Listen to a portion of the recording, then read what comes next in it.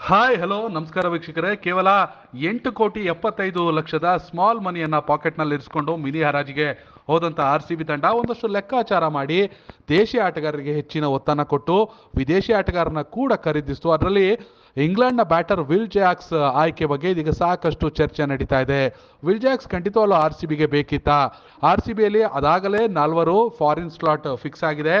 Captain Faf du Plessis, Glenn Maxwell Wanindu Hasaranga ಮತ್ತು Josh Hazlewood ಹೀಗಾಗಿ ಮತ್ತೊಬ್ಬ England ಆಟಗಾರ ವಿಲ್ ಜಾಕ್ಸ್ ಬೇಕಿತ್ತ ಅಂತ.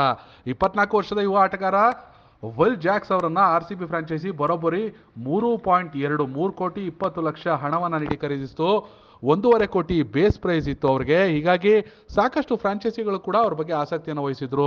ಒಂದೂವರೆ ಕೋಟಿಯಿಂದ ಆರಂಭ ಆಗಿ ಅದು ಬಿಡ್ಡಿಂಗ್ ಮೂರು ಕೋಟಿ ಇಪ್ಪತ್ತು ಲಕ್ಷಕ್ಕೆ ಬಂತು. ಆಗ ಆರ್ ಸಿ ಬಿ ಅವರನ್ನು ಖರೀದಿಸಿತು. ಹಾಗಾದ್ರೆ ಯಾರಿದು? ಇಂಗ್ಲೆಂಡ್ ಪರ ಕೇವಲ ಎರಡೇ ಟಿ ಟ್ವೆಂಟಿ ಪಂದ್ಯವನ್ನು ಆಡಿರೋದು ವಿಲ್ ಜಾಕ್ಸು.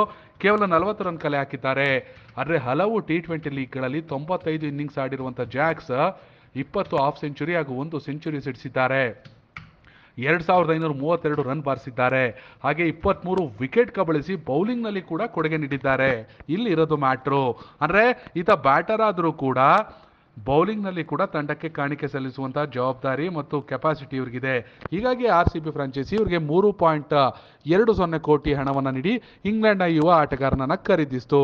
ವಿಲ್ಜಾಕ್ಸ್ ಖರೀದಿಯೊಂದಿಗೆ ಆರ್ ಸಿ ಬಿ ತಂಡದಲ್ಲಿ ಆಟಗಾರ ಸಂಖ್ಯೆ ಇಪ್ಪತ್ತೊಂದಕ್ಕೆ ಏರಿತು.